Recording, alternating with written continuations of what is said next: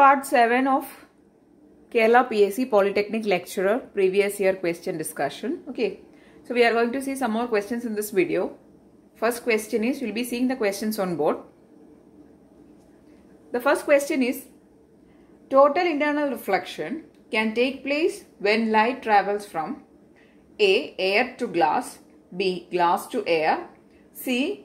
Rare to denser medium D. Denser to rarer medium. Okay, so the total internal reflection is happening when the signal is traveling from a denser medium to a rarer medium.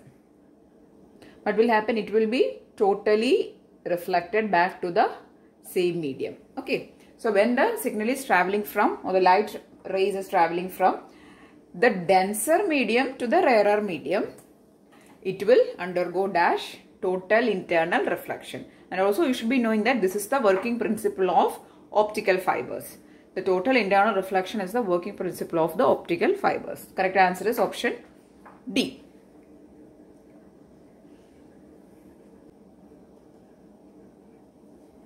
Second question. An XOR gate produces an output only when two inputs are A high, B low, C different, D same. Let's see the truth table of an XOR gate. Okay. So let the inputs are A, B and the output is Y. So when will the XOR produce a 1? Okay. That is when the XOR produce an output high. 0, 0, 0, 1, 1, 0, 1, 1. Let this be the combinations.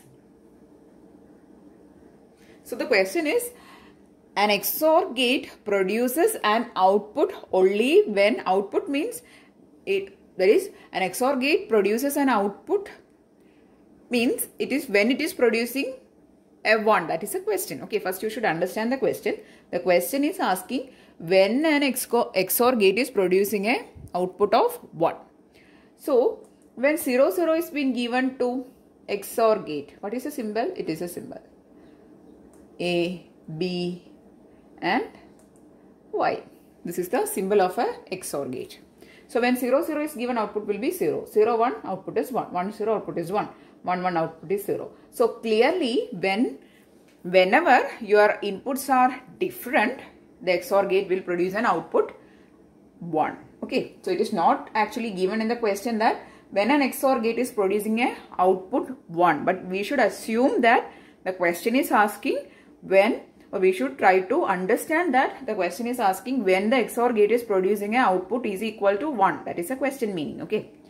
So the answer is option C. Whenever your inputs are different, it is producing a 1 value. Okay. Correct answer is C which is different.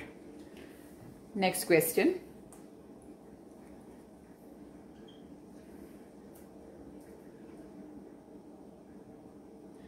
So the third question is a binary number 10101 is equivalent to decimal number dash. We'll do the conversion here. So 10101. Okay. We need to convert this number in binary form to which form? Decimal form. So to convert a number from binary to decimal, we have to multiply with the powers of 2. So first let us write the position values. It is 0, 1, 2, 3 and 4. Okay. And now convert it to 2 to the powers. 2, 2, 2 and 2. Now for whichever number there is 0 above it, just ignore them.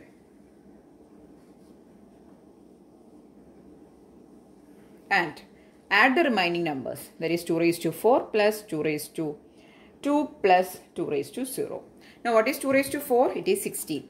2 raised to 2 is 2 square that is 4 plus 1 that is 21 to the base of 10 is the answer.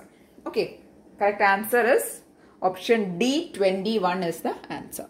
So, in order to convert a number from binary to decimal, you have to first write the position values. Then take the position values as powers of 2. Then multiply, okay, before that, whichever number is having a 0 on top of it. See here there were zeros and we have ignored these numbers and the remaining numbers you just have to add. Okay. So this is the procedure and it is a very simple procedure to do a binary to decimal conversion. Here the answer is option D. Moving on to the next question. Question number 4.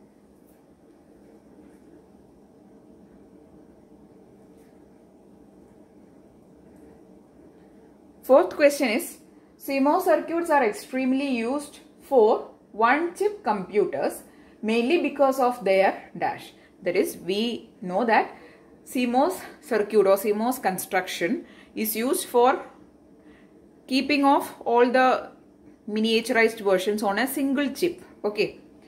So what is the basic property they are actually making use of? A. Low power dissipation.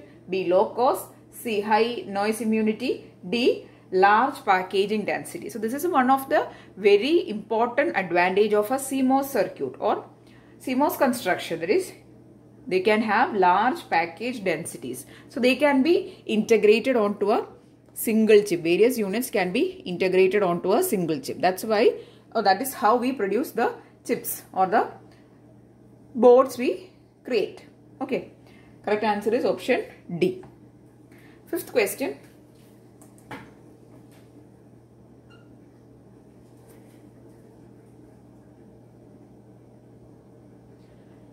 Fifth question is from Zener diodes. The phenomena which causes reverse breakdown in Zener diode is known as A. Hall effect. No, it is not Hall effect.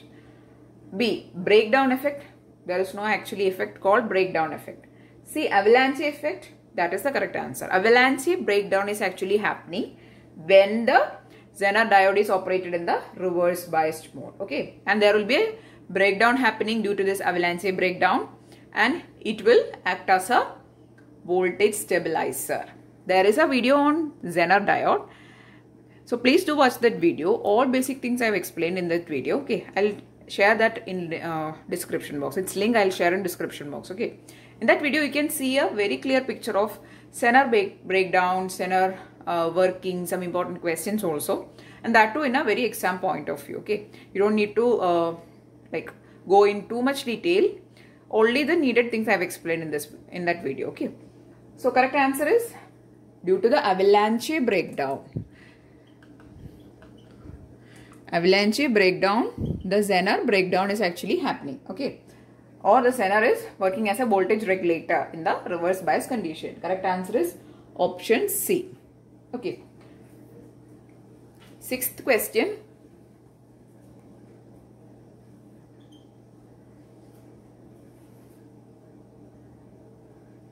Sixth question is from CRO. So if you are preparing for any competitive examination, you should thoroughly study at least the basic principles of CRO. While examining the question paper, I could uh, understand that the CRO is a very, that is a very interesting topic and it has been many times asked in this question papers. Okay. So whichever question papers I have ex examined, one question I found from CRO. Okay. So please do refer the topic. If you are preparing for the polytechnic lecturer or for any examination for that matter okay? So the question is the horizontal plate of CRO is supplied with dash to observe the waveform of the signal. A sinusoidal wave. B cosine wave. C sawtooth wave. D none of this. Okay. So you should know that in a CRO the waveform is displayed in a two-dimensional form. There are two planes. There is an x-plane, there is a y-plane.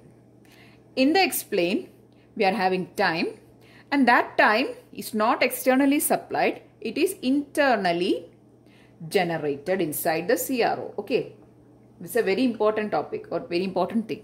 And y is having the amplitude or the voltage values of the corresponding signal or the waveform. Okay. And this y value we are getting from the externally. That is from whichever signal or whichever input given to the CRO, you are getting the y value. The time but we are internally generating. Okay. And for generating this time or for feeding the x-axis, we are actually giving a sawtooth waveform. Okay.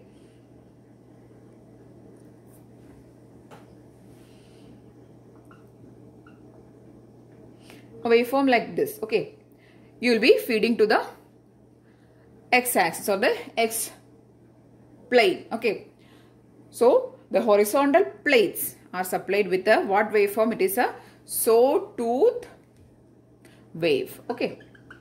And that is for representing the time. Okay. Correct answer is option C is the correct answer. Okay.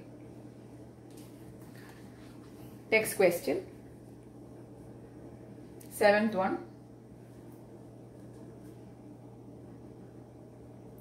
Seventh question is, a full adder can be made of A. Two half adders, B. Two half adder and a NOT gate, C. Two half adder and a OR gate, D. Two half adder and a AND gate. Correct answer is with the help of two half adder and OR gate, we can have a full adder. Okay, so if you draw the block diagram of a full adder, you can draw it like this. In a rough form, I'll draw it for you. Okay. Half adder into which you are going to feed A, B input. Then take it out. This you are going to feed to feed to another half adder. Then you will get the sum here. Okay. And this output you are going to take this will be the carry out of B. So this will be half adder B this will be half adder A. And this is the carry out of A. This is being fed, fed to an OR gate. And you will get your final carry out here okay? And also you have to give the carry in here okay? Carry in here okay? So this is how you can draw a rough diagram for a full adder so in that uh, diagram you can see that there are two half adders and one OR gate. So with the help of two half adders and, and an OR gate you can realize the full adder so if you have uh, doubts like the circuit diagrams or anything just google for the topic you will get a lot of images regarding the circuit diagrams and everything okay? So make a study with the help of your internet. You will get a lot of uh, topics or articles regarding the topic whichever you are going to search okay? So anyway here the answer is two half adder and a OR gate is the correct answer. So the option that is coming right is option C okay? Next eighth question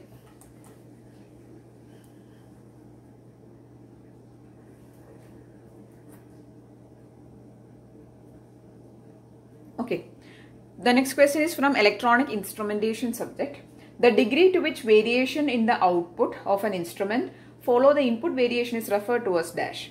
A. Sensitivity. B. Linearity. C. Hysteresis. D. Accuracy. So, if the output is varying in correspondence with the input, then it is called linearity property. So, there is a separate playlist for electronics instrumentation and measurement. In that, I've explained all the basic characteristics of the instruments. So, in that characteristics, one of the very important characteristics is linearity. All the other options, that is sensitivity, hysteresis, everything we have explained in that video, okay? So, if you have want to have a reference, please do watch that video.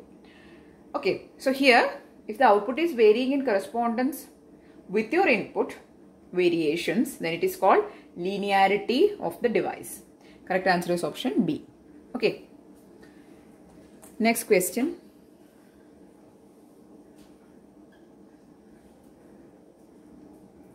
So next question is a very basic question from 8051. The 8051 microcontroller is of dash pin package and a dash processor. That is how many pins are there in the 8051 IC and it is a dash bit or a dash byte microcontroller or a processor. Okay. So it is a 40 pin IC. Okay. And it is a 8 bit that is 1 byte device or 8 bit. It is a 8 bit processor with 40 pins. Correct answer is option C. Okay. 10th question.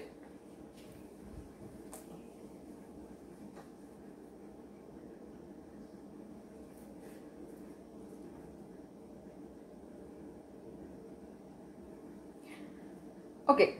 So 10th question is which bus is bidirectional? A data bus, C control bus, D C address bus, D multiplexed bus. Correct answer is see out of the given buses data bus is the only bidirectional one. For address bus you only have to fetch the address. See whenever there is an address memory you only have to fetch that bus from the that is that address from the memory. So it need not be bidirectional. Okay, so you only have to fetch the address from the address memory. So it cannot be or it need not be actually bidirectional. But the data memory or the data bus,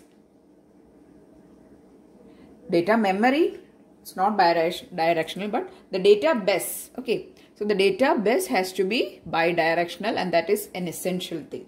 It can be, this can be bidirectional or unidirectional but the data bus can be or must be bidirectional only. Correct answer is option A. Next question. 11th question. So the question is Wien-Bridge oscillator circuit uses A.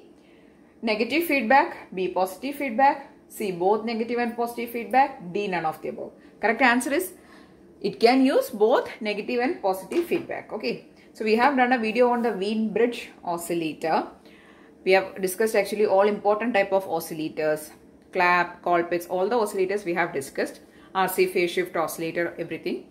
So please to watch that video. I'll share the link in description. Okay. So it can be using a feedback which can be positive or negative feedback can be used. Okay. So if you examine the I'll give the image of a Wien-Bridge oscillator here. Okay. And also, when seeing an oscillator, in an oscillator there is a, an amplifier circuit and a feedback. Okay. And so this, this is the circuit diagram for a os basic oscillator. There will be an amplifier, there is a feedback. And this feedback can be either positive or negative. Okay, for the case of Wien-Bridge also, it can be positive or negative. Okay, so here correct answer is option C is the correct answer. Positive or negative can be. Okay, so these are the questions which I have included in this video. I'm really hoping that these questions were useful. I've tried to give maximum explanation for each question so that it should be useful for those people who's watching the videos. Okay, so you should gain some information other than or rather than just listening to the answers you should gain some information along with the answers. That is my try when i'm when i'm making every videos. Okay. So if you found the video useful please to give it a thumbs up and also share it with your friends. And also if you want more videos please subscribe to the channel. Thanks for watching and keep on watching